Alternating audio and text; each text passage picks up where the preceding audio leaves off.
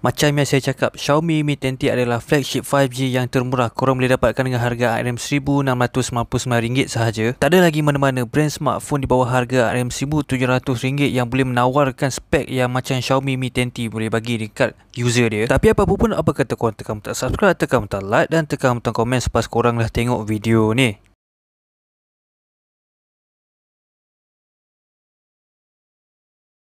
Skrin dia sebesar 6.67 inci Full HD Plus LCD. Ada beberapa YouTuber yang mengatakan bahawa Xiaomi Mi 10T punya LCD adalah terbaik yang pernah mereka pakai berbanding dengan smartphone yang menggunakan LCD punya skrin. Tapi bagi saya yang penting dia punya skrin yang menggunakan 144 refresh rate. Tak ada mana-mana company smartphone di bawah 1700 menawarkan 144 refresh rate. Dan saya kena minta maaf untuk video unboxing yang saya pernah mengatakan yang belakang dia menggunakan plastik tapi sebenarnya material dekat belakang dia adalah gelas. Xiaomi Mi 10T menawarkan dua warna iaitu Cosmic Black dan juga Luna Silver. Kamera depan ni pula dia menggunakan 20 megapiksel tiny pinhole dan bagi saya nampak agak kemas lah. Dekat atas dia terletaknya IR blaster, dekat kanan dia pula ada punya fingerprint tu ada dekat power button dan dekat bawah dia korang tengok sini ada speaker, charging port dengan SIM tray slot. Walaupun phone ni tak ada audio jack tapi dia dah sediakan dongle. So kalau korang nak dengar muzik ke menggunakan earphone korang connectkan dongle lepas tu korang boleh connectkan korang punya earphone. Kalau kita tengok sisi tepi pula dia punya camera bump agak besar. Kalau letak tempat yang rata dia punya camera lens boleh calak ataupun boleh pecah Walaupun Xiaomi telah pun provide dia punya cover Tapi dia punya cover pun tak boleh nak halang dia punya camera bump yang agak besar. Untuk pengetahuan korang Xiaomi Mi 10T dia menggunakan 8GB RAM. Dan macam biasalah kita akan test dia punya fingerprint dengan face recognition. Bagi saya dua-dua ni bagi saya semuanya ok Tak ada masalah pun setakat ni. Sepanjang saya menggunakan Xiaomi Mi 10T Saya menganggarkan 144 refresh rate. Dan saya tak ada mengalami apa-apa masalah lagging. Refresh rate juga boleh konsumkan bateri korang. Tapi dekat Xiaomi Mi 10T ni saya tak rasa pun bateri tu reconsume Sebab bateri dia sebesar 5000 mAh kan. Kalau korang nak consume bateri korang boleh menggunakan 60 refresh rate. Tapi bagi saya saya akan kekalkan 144 refresh rate dia menggunakan MIUI version 12 dan menggunakan Android version 10 untuk gaming pula dia menggunakan chipset yang paling latest iaitu Snapdragon 865 macam yang saya cakap mana smartphone company yang lain boleh menawarkan apa yang Xiaomi Mi 10T boleh menawarkan kepada dia punya user. Untuk PUBG buat kali pertama saya boleh merasa menggunakan grafik Ultra HD grafik yang paling tinggi dalam PUBG since menggunakan Snapdragon 865 frame rate yang paling tinggi setakat ni ialah 90 refresh rate. Ini adalah frame rate yang paling latest di dalam PUBG dan semestinya bila dah menggunakan setting yang paling tinggi PUBG akan menjadi panas bila korang bermain.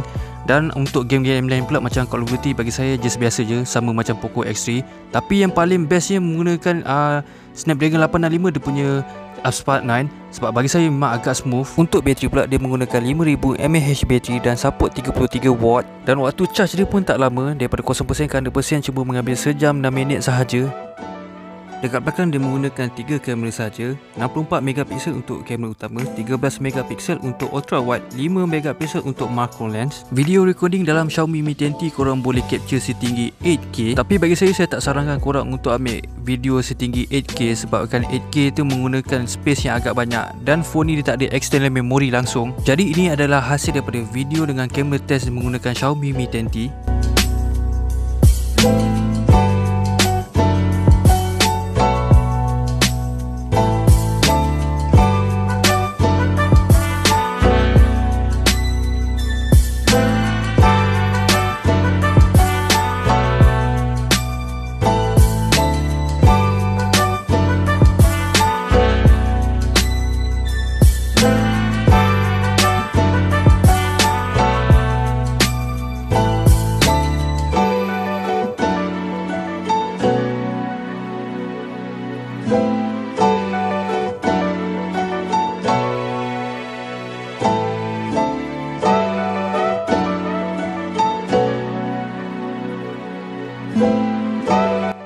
Salah satu kelemahan untuk Xiaomi Mi 10T di mana dia punya slot cuma ada sediakan dua slot. Dua-dua slot ni untuk SIM tray slot saja, dia tak ada untuk external memory.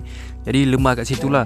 Dia punya internal space dia sebesar 128GB sahaja. Jadi korang kena pandai-pandai lah untuk uh, jimatkan space. Tapi jangan risau Space 128GB pun dah kira besar sebenarnya. Jadi sampai sini je untuk video review Xiaomi Mi 10T Bagi korang yang di bawah bajet 1700 Korang boleh dapatkan Xiaomi Mi 10T Jangan risau Ini adalah flagship yang paling murah Dan dia punya kualiti tak adalah murah. Dia kualiti punya memang premium. Tapi kalau korang nak ada bajet lebih sikit Korang beli Xiaomi Mi 10T Pro Cuma penambahan untuk Xiaomi Mi 10T Pro adalah dia punya kamera sebesar 108 megapiksel dan dia punya storage sebesar 256GB. Tapi untuk korang yang di bawah bajet 1700, korang boleh dapatkan Xiaomi Mi 10T. Saya sarankan untuk korang ambil Xiaomi Mi 10T, jangan ambil phone-phone yang lain di bawah seharga RM1700 sebab spek-spek yang ditawarkan memang cukup berbaloi. Jadi sampai sini je untuk video kali ini. Saya akan jumpa korang pada minggu hadapan dengan video yang lain.